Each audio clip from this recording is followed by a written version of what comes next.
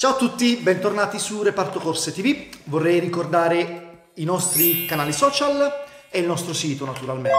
In questo video parleremo del BMC DIA, l'airbox eh, di partenza della gamma BMC che vi faccio subito vedere è questo qui.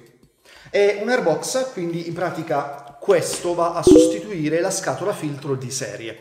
È un prodotto che ha secondo me i suoi punti di forza nell'essere eh, innanzitutto poco costoso, considerato che si parla di un eh, prodotto della BMC, quindi probabilmente la casa eh, più, più, famosa di filtri aria.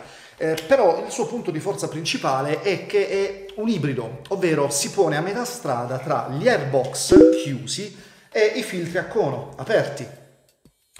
Però c'è un accessorio molto interessante che è questo qui, che permette di far diventare questo prodotto ibrido un airbox totalmente chiuso e naturalmente possiamo poi mettergli il tubo qui e il tubo qui. È un prodotto che consiglio a tutti? No. Perché? Perché, qui veniamo al punto debole principale, è un airbox che va a sostituire una scatola filtro di serie in plastica con un'altra scatola filtro in plastica.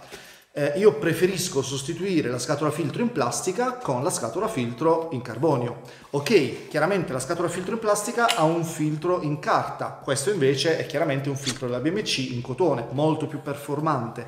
Però non va bene per tutti i casi, ma può andare bene nel momento in cui abbiamo una situazione ehm, di vano motore in cui comunque non riusciamo a far arrivare tutta quest'aria fresca al motore e allora non serve tantissimo il filtro in carbonio, perché il filtro in carbonio è utile se gli fai arrivare aria fresca e il filtro in carbonio te la mantiene fresca, perché il carbonio è un isolante migliore della plastica. Se invece tu non puoi in alcun modo far arrivare particolarmente aria fresca a quel filtro, beh, può essere magari il caso di non investire tantissimo in un airbox in carbonio, ma magari valutare un prodotto come questo.